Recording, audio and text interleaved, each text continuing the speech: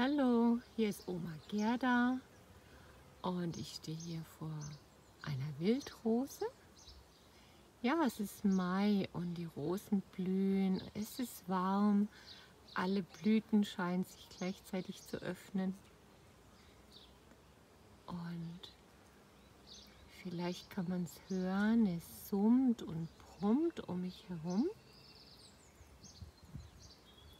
weil diese ungefüllten Blüten, die sind natürlich sehr attraktiv, auch für die Insekten, für die Bienen und Hummeln, die jetzt hauptsächlich hier ankommen.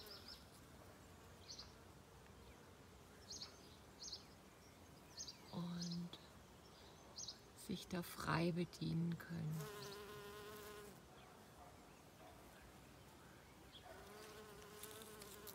Das ist eine Knospe und daneben sieht man schon den befruchteten, also Fruchtknoten.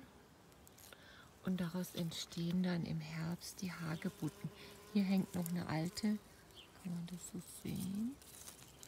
Oh, die ist ganz schwarz vom letzten Jahr. Die ist schon ganz getrocknet, die kann man auch nicht mehr verwenden.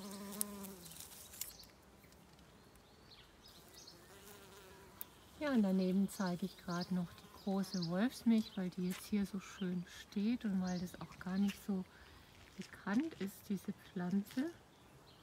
Ja, und dahinter sieht man noch mal den Wildrosenbusch. Meins ist eine Feldwildrose. Ja, heute ist es warm und überall ist dieser Rosenduft. Jetzt Anfang Juni und es ist einfach wundervoll diesem Rosenduft. Hier stehe ich vor einer anderen Wildrose. Es gibt ja sehr viele Arten. Ich meine, es ist eine Apfelrose, weil die haben extrem viele Stacheln. Die ist also sehr, sehr stachelig. Und ein ganz, ganz betörender Duft. Sie hat jetzt keine mh, hm, wirklich essbaren äh, Hagebutten, aber dafür ist die Blüte und der Duft umso betörender. Ja, hier ist nochmal der nächste Rosenstrauch.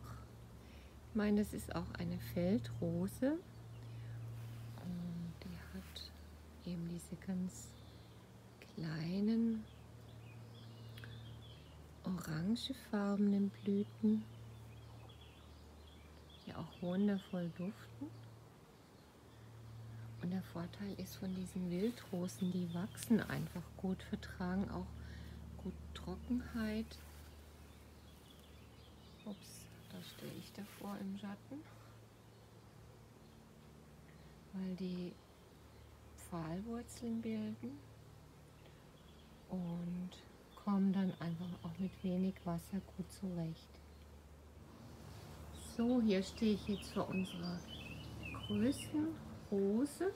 Ich meine, das ist eine Hundsrose und die ist ungefähr so zweieinhalb Meter hoch und so wundervoll überhängend ist eine Fülle und ein Duft.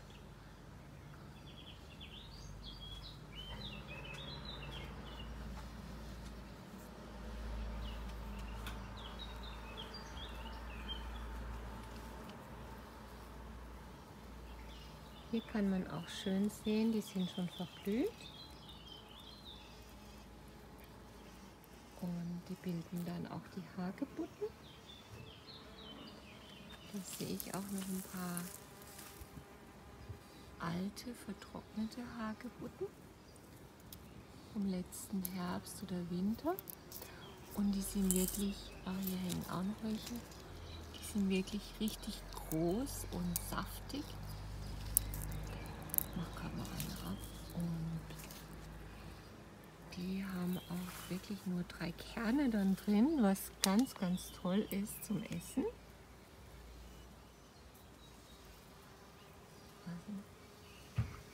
So sehen die dann aus ein Jahr.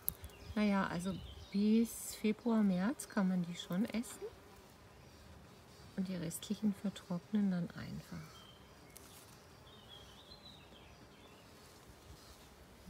Dadurch, dass die so viele, wie so ja, immer drei, vier Hagebutten äh, an einer Stelle bilden, es hier unglaublich viele.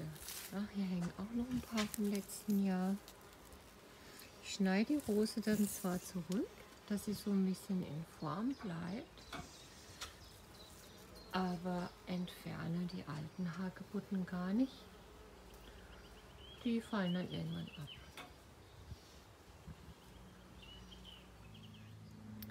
Hier ist jetzt mitten im Farn ein neuer Rosenstrauch aufgegangen. Das kann ja auch durch die Kerne in den Hagebutten passieren, dass die Vögel die einfach umhertragen. Und da kann man sicher sein, das ist dann eine Wildrose. Man kann einfach mal das Experiment auch wagen. Die hat sich da bis nach vorne geschlängelt, ausgebreitet. Und abwarten, wie sie blühen wird. Jetzt stehe ich noch mal vor der großen Hundsrose und da fallen auch schon die Blütenblätter ab. Die liegen dann hier so im Gras. Und das Schöne ist, man kann diese Rosenblätter auch für Tee verwenden. Also da nehme ich dann nicht die heruntergefallenen, sondern pflück mir welche ab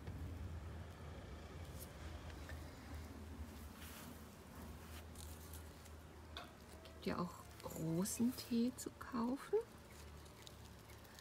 Oder man liest manchmal auch etwas von Teerosen. Also von allen Wildrosen kann man die Rosenblätter auch verwenden für Tee, um das Essen zu verschönern mit den Blütenblättern oder auch um das Wasser zu aromatisieren. Einfach mal ausprobieren. Also man kann alle Blütenblätter verwenden.